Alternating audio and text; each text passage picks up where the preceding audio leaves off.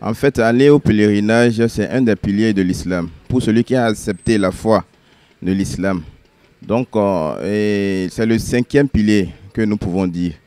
Donc, et c'est pas obligatoire. C'est obligatoire pour tout un musulman qui a les moyens. Celui qui n'a pas les moyens ne peut pas aller au Hajj.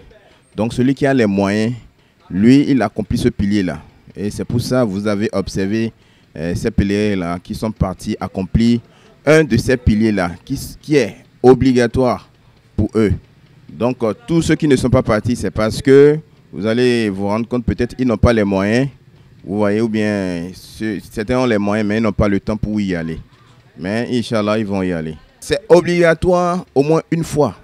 Donc, euh, celui qui a les moyens, il doit y aller au moins une fois. Maintenant, si les moyens sont vraiment abondants, donc euh, il peut le faire plus d'une fois. C'est ça vous allez observer. Et certains qui le font euh, deux, trois fois ou bien plusieurs fois. Le pèlerin, après avoir accompli le Hajj, il, devient comme un nouveau-né, c'est-à-dire un bébé. Vous savez, le bébé n'a pas de péché. Vous voyez? Donc le pèlerin, celui qui a accompli le Hajj, ça veut dire qu'il devient un nouveau-né, il n'a plus de péché. Donc s'il revient, euh, ça veut dire qu'il doit se réformer, c'est-à-dire il doit faire des efforts pour ne plus commettre des péchés. Bon, si je parle de péché, je vais parler des grands péchés.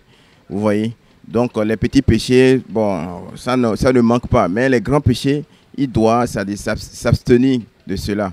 Il doit plus, euh, c'est-à-dire reprendre, répéter les mêmes péchés.